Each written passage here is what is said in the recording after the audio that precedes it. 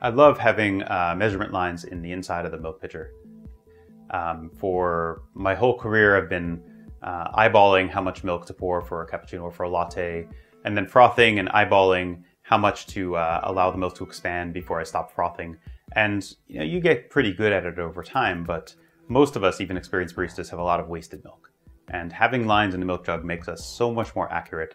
Um, and if you have a cafe and you have a staff of 10 or 20 people, you'll save a ton of money by having the lines there and getting the baristas to be less wasteful.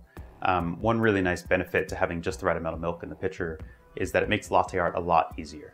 If you don't have too much extra milk in the pitcher, it's much easier to pour design. When you have too much milk in the pitcher, you, you can't tilt the pitcher as deeply into the cup and it's a little harder to get a good design.